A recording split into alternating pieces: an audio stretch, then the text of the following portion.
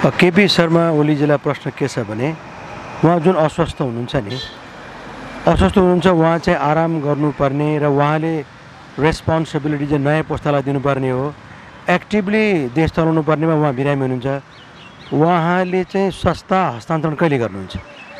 मेरो प्रश्न उहाँलाई यो छ।